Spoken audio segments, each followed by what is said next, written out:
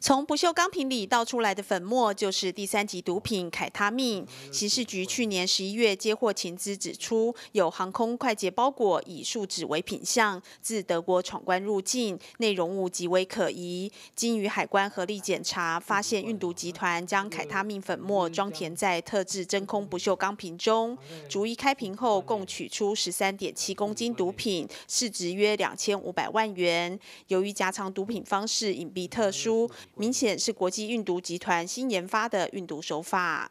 黑帮啊，组成所谓的这个运毒大联盟哦，以这个团购的模式，有一个主帮派啊，负责引进呃相关的毒品之后啊，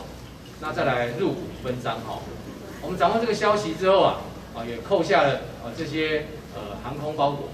我们发现啊，里面夹藏了十三公斤的凯他命，市价高达两千五百多万哦。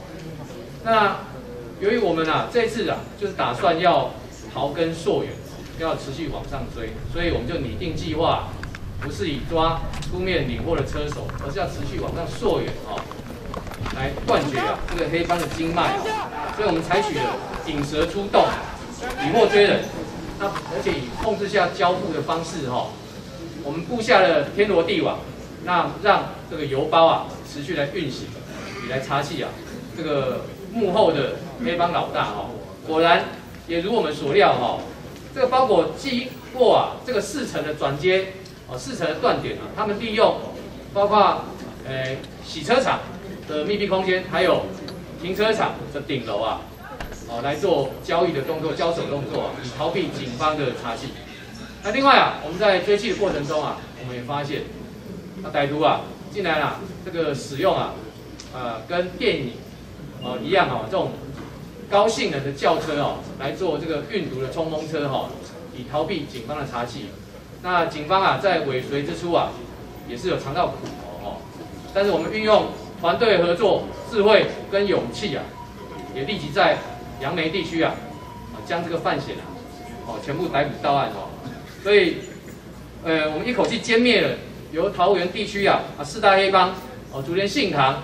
雪鹰帮。四海帮及小人门帮所组成的跨国运毒集团，哈，这个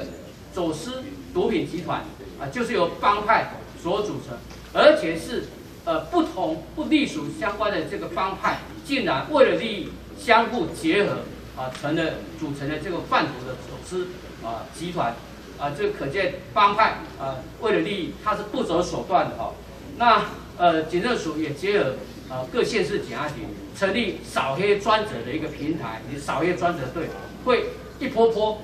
持续性的针对黑道帮派来进行扫荡。啊，我想，呃，从呃最近的几个个案，所有这个诈欺或者是毒品走私案件，都有幕后的黑道帮派啊所引申的犯罪情形哦。所以扫黑打击帮派啊，就是我们在打击诈欺犯罪以及毒品犯罪。啊，是一样的一个呃方式哈。